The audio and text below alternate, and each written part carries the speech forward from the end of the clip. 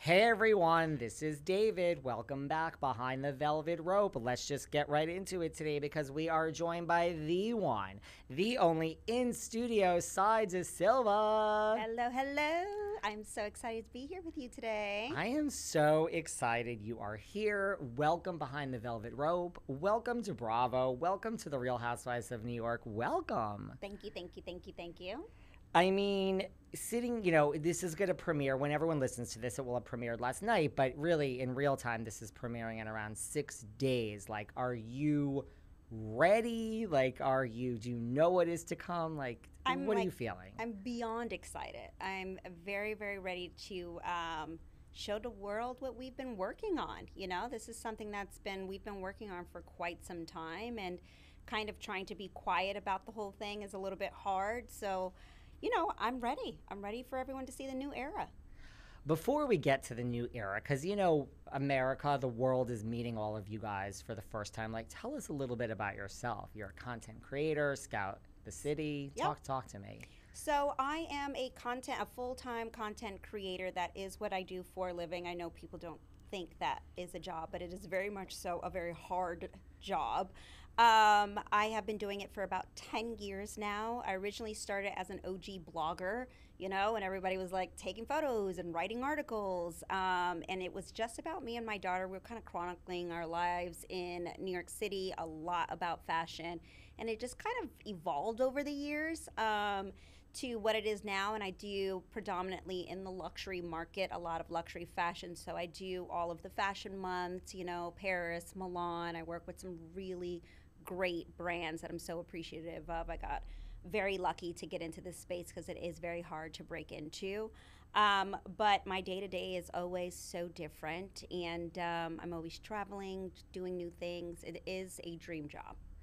Yeah, you know, when I go out and I tell people that I'm a podcaster, I say, I literally follow it up with, like, trust me, that's a real job. So I get it. People think, you know, and because of what I do, it's also a lot of like online content. It's, Right. it's a real exhausting job. It's a job. Yes. You know, a friend of mine was like, "Oh my god, what should my caption be? Should I post this? Should I not post this?" Mind you, she's just doing it for fun.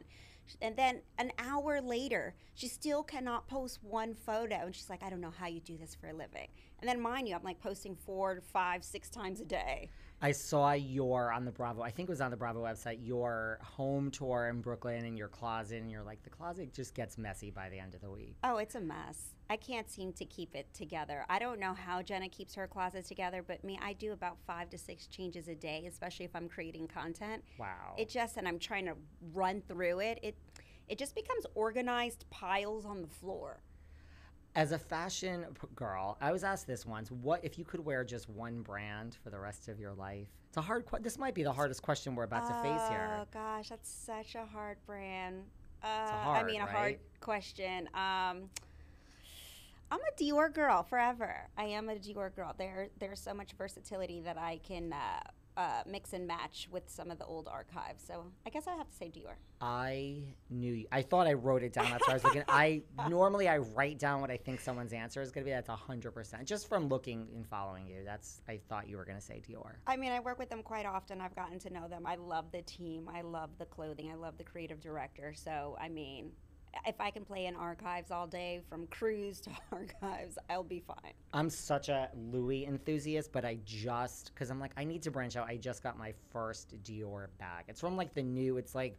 It's like it has the elephants on it, the orange with like Oh, the so yellow nice. ribbon. Isn't yeah. that a nice one? Yes, that is a really so nice that's I'm like, okay, I'm branching out from Louis Vuitton. Let This me is borrow good. it. You can borrow it any day that you want. So I know you were born in LA, you've lived in New York, you've lived all over, but like New York really feels like home. Yes. Um, I've been in New York off and on since I was two. My parents um, were also raised in New York City. They were born and raised in New York City. My mother uh, was Puerto Rican, so she was very much so a New Yorican and her family. So New York is definitely home for me. I went to school here, graduated high school, went to college here. So, yeah, New York is definitely a place that raised me. I love it. So, Real Housewives of New York came into our lives in 2008. Just doing the math, you were, you know, probably late 20s. Yes. So I mean, did you, uh, do, were you a fan? Did you watch? Like, and what type of were you? Were you an avid watcher? If you were a watcher, did you dip in and out?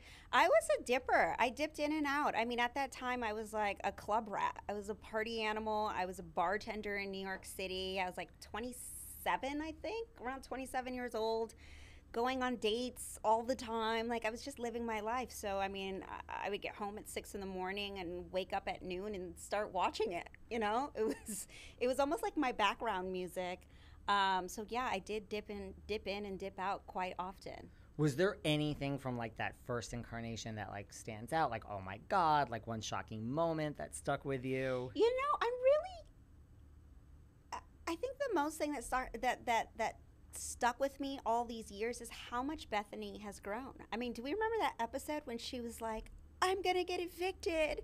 I'm broke. You know, I have no money." Like she was really struggling, and that was real life. And to see where she is now is so admirable. Like she's really hustled her way. So I think that really stood out to me. And also, we're watching people's lives on television. Not too many people can be very real and say, I'm broke. Like, I need some help here. For whatever reason, it feels as if everyone is has this whole facade, you know, like everyone just needs to pretend that there's something that they're not to impress who though. Whereas I felt Bethenny very much so was what you saw. And I Yeah. I don't know, it just always stuck in the back of my head. Yeah, like living in the real apartment with like the park, you know, like those Right. square parquet floors that we all know too well from our time in our early days in New York. We've all had these kinds of moments, you know. This is this is real life, Yeah. and so I just, you know, I applaud her for just being herself. And I think of when she was selling whatever she was selling in that supermarket and then driving around. I mean, I don't think you could pay me enough to drive around in that car in the Hamptons. We were just talking about the Hamptons before, just like that Skinnygirl car. I mean, that before you are famous or wealthy, like to drive around in that car, I don't, I don't have, I'm not sure I have that self esteem. It's very humbling. It's, a humbling experience. It's very humbling. What about, you know, did you get, like, did you know any of the OGs, like, or any of the original cast members, like, before this whole experience? No, I didn't know any Wow. of them before. Wow. Not one. Did anyone reach out, like, once it was announced? Like, did someone reach out to you? You know, Heather Heather Dubrow, Dubrow and I follow one another, and she reached out. She DM'd me with a very, very sweet message, and you know, she's just like basically, you know, good luck, enjoy, enjoy the ride. You know, this is a crazy journey that you know no one really knows about unless you're in it and you're doing it. You know, it's hard to explain unless you're experiencing it. So I thought she was really sweet. Dorinda was really nice at upfront. She had some great words um, of advice, of, and she was great. Um, and I think for the most part, that was pretty, pretty much it. What advice did Dorinda Medley give to you? She told me just be myself, be authentic, be myself, because when you're not, everyone will see right through you. That is good advice. I Yeah. think the audience at this point with Housewives is just